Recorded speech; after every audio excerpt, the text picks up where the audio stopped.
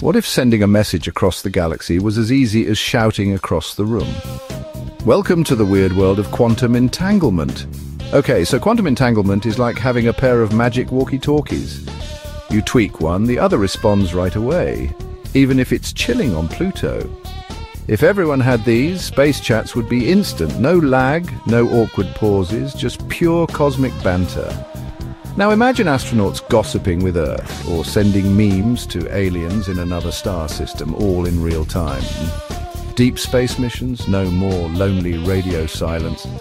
But here's the kicker. Scientists aren't totally sure if we can use entanglement for actual message sending yet. It's kind of like having a phone that lights up when your friend gets a call, doesn't tell you what they said. Still, if we crack this quantum code, the universe might just become the ultimate group chat. Space won't feel so far away after all. Who's ready to text across the cosmos?